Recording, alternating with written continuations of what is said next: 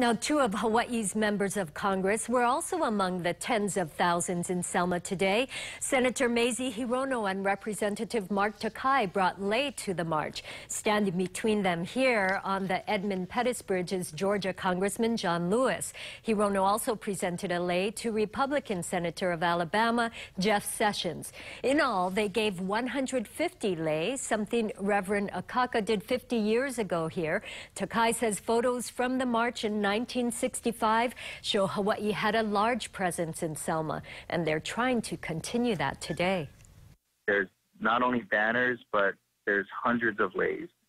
So we what we wanted to do is we wanted to make sure that people on the 50th anniversary of the Selma marches uh, that Hawaii was there, and, and today Hawaii is still here.